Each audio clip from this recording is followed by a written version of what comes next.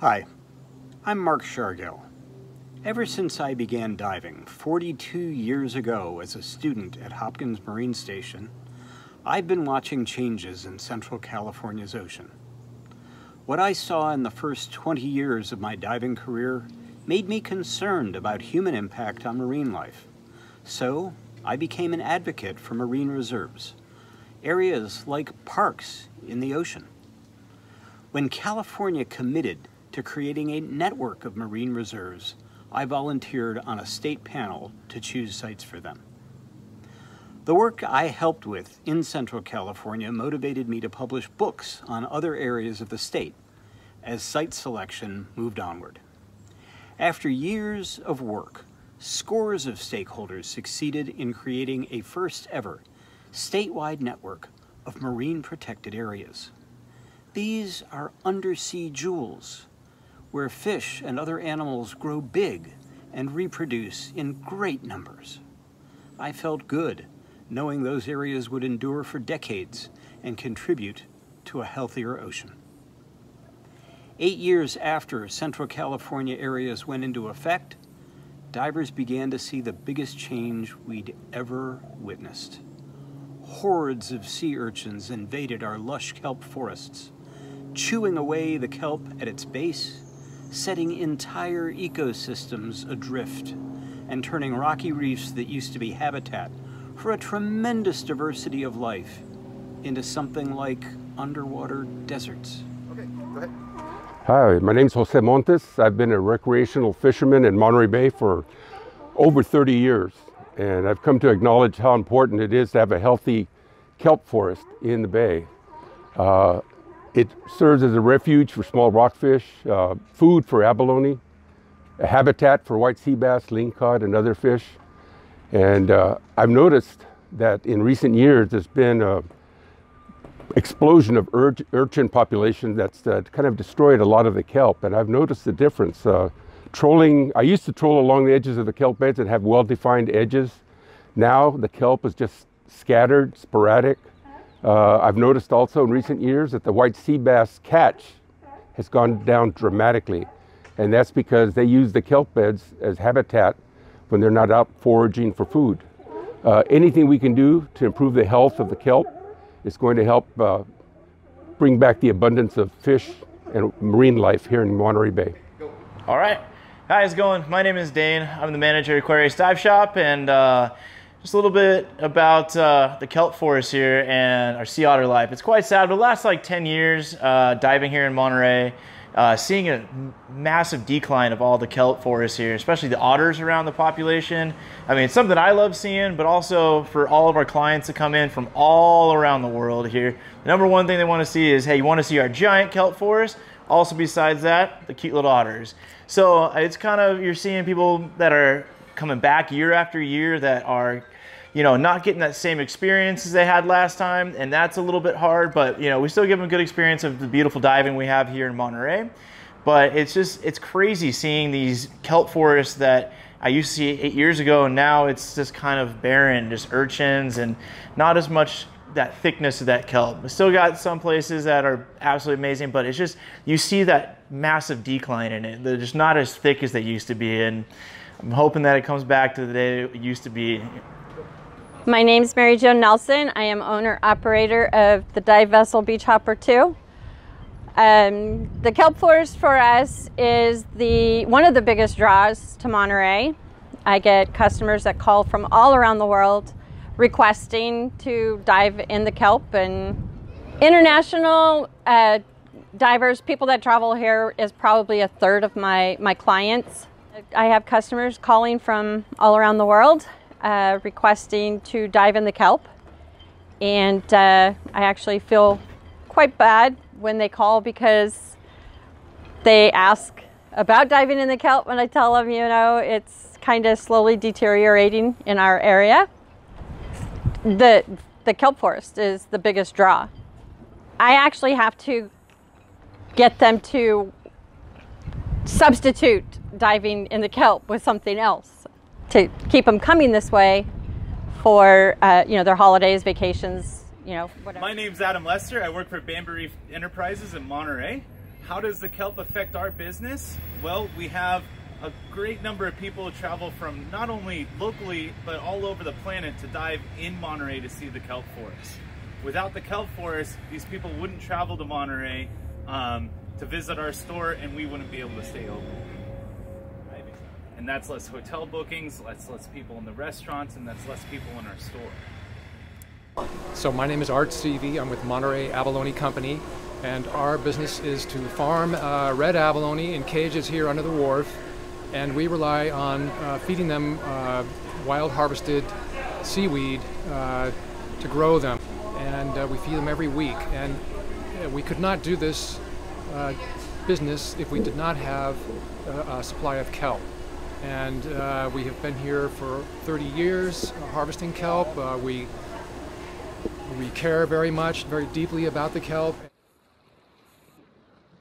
Sea otters feast on abalone when they can find them. They also avidly consume crabs, scallops, and other shellfish found in the kelp forest. Amazingly, otters enthusiastically go after sea urchins that live in kelp forests where the urchins are well fed. But in urchin barrens, the urchins have so little food, having eaten all the kelp, that they're emaciated and offer too little nourishment for an otter to bother with. On the open coast, otters prefer to nap in kelp, forage in kelp, and raise their pups in kelp. Urchin barrens, on the other hand, offer them little to no food and no anchorage. Urchin barrens won't make it easier for anyone to make a living. But how widespread is the problem?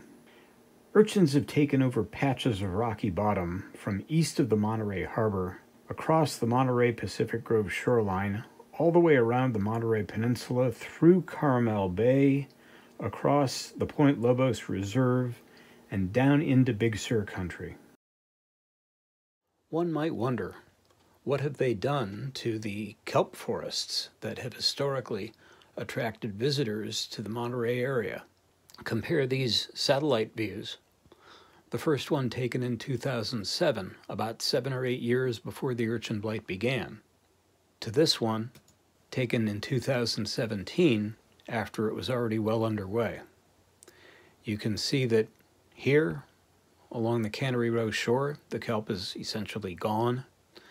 At the location of the aquarium, Hopkins Marine Station, in the Marine Reserve between Hopkins Marine Station and Lovers Point and all the way around Point Pinos, kelp is all but gone. Doctoral candidate Josh Smith at UC Santa Cruz is the only researcher we know of working on the problem. One component of Smith's work has been to survey the density of giant kelp, as well as many other parameters. Smith graphed his own data to show the change in just the one year between 2018 and 2019. We can see new losses of kelp in front of Cannery Row. From the west side of the Hopkins Marine Station Reserve, kelp is already long gone from the reserve between Lovers Point and Hopkins, and there are new losses around Point Pinos. While Josh Smith was surveying kelp, volunteer reef check divers were counting sea urchins. At numerous locations around the Monterey Peninsula, down into Carmel and beyond, they documented the explosive growth of the urchin population between 2013 and 2016.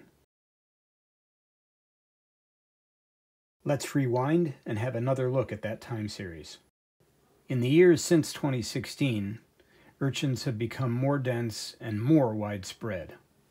This graph displays the same data, showing us that each reef check survey patch, about the size of a small apartment, averaged more than 500 urchins. Disappearing kelp forests are already impacting many businesses in the area.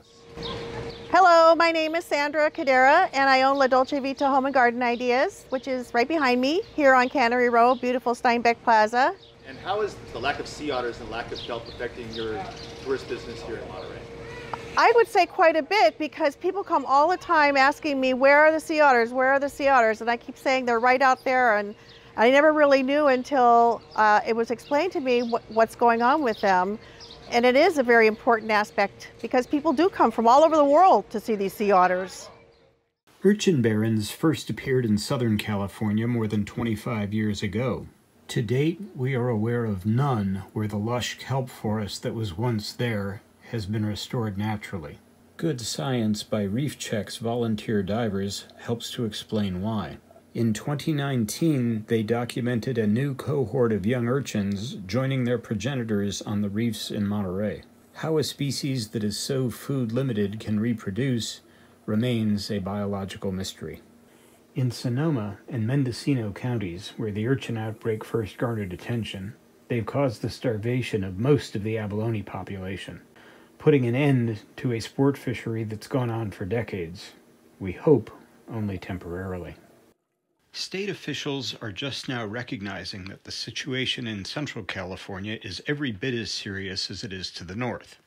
But regulations put in place to keep people from throwing ecosystems out of balance are keeping divers from even attempting to restore balance here. The most general regulations prevent anyone from taking more than a reasonable number of invertebrates, which includes sea urchins, in any single day. But as you may have noticed earlier, the average density of urchins in a barren is over 20 per square meter. An area the size of your dining table could contain hundreds. Around the peninsula, the only estimate we have suggests the urchin population is well beyond 100 million. In order to allow divers to clear even experimental test patches of a few acres, the Fish and Game Commission will need to make an exception in Monterey County, similar to the one that's already been passed for Northern California. When asked to do that in 2019, they refused. As of this moment, a second request is pending. But we need your help in convincing the Fish and Game Commission that this is too important to put off any longer. Hello, my name is John Richardson. I own uh, Monterey Bay Scuba. And the effects that the uh, urchins have had um, on scuba diving are pretty significant. Uh, we have people come of tourism all over the world to dive the kelp forest here. And obviously over the last few years, they've been getting depleted.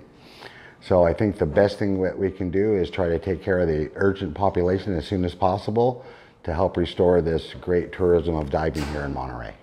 As a part of this process, we would, it would be wonderful for our company to be uh, one of the companies, uh, especially along Cannery Row here, being a part of the removal of the uh, urchins. It would bring more business into our company and also improve the actual marine environment. So the faster we can do that, the better off we'll be. One reason for the Commission's reluctance may be the great number of marine protected areas that wrap around the Monterey Peninsula.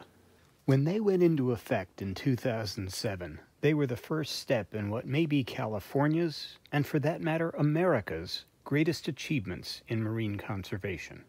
I remain proud to this day knowing that I had a hand in protecting kelp forests and every other type of habitat in California's coast. The enormous investment that the state put into establishing these areas and then into monitoring them began to show results much faster than anyone ever expected. Marine life is more diverse, more numerous, grows bigger, and reproduces in greater numbers inside of marine protected areas.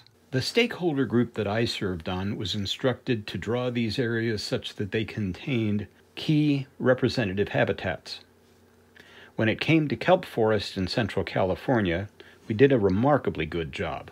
In fact, from the Monterey Harbor out to Point Pinos and down coast beyond Point Lobos to Yankee Point, the only kelp forests, or reefs that used to be kelp forest, accessible from shore, are within marine protected areas.